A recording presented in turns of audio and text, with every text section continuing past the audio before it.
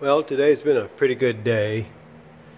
I'm not sure if I included this in the last video, but I have those um, little L angles installed on both sides. You can see that I have that one boxing on the bottom. Um, let me pause this. And over here you can see that I have those forward angles in. Uh, that's actually a lot of work. If you ever build one of these, I'll do those for $1,000 for you.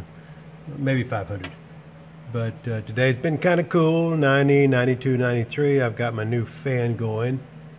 Uh, so I know it doesn't look like much, but cutting those pieces has been kind of a job. I'm going to pause. Okay, so because it has been so hot in the hangar, part of my day today was putting this together this used to be up on a stand. It took 16 people to move it, and you dropped it half the time, and it rattled and made noise, and it was just a horrible mess.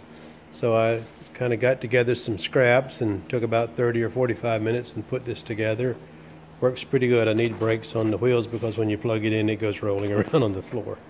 But it sure keeps it cooler in here. So I'll just pan around here, messy table, see, messy table and this is how the uh, fuselage is looking now.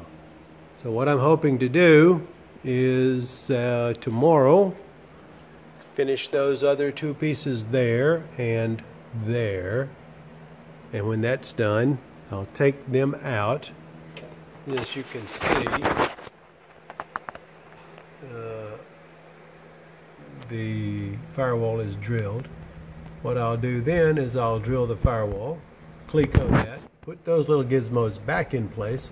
The firewall will be in and uh, I'll continue with uh, taking off the cabin frame at that point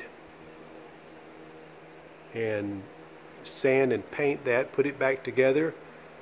Um, then it'll be the instrument panel and the glare shield and the door frames.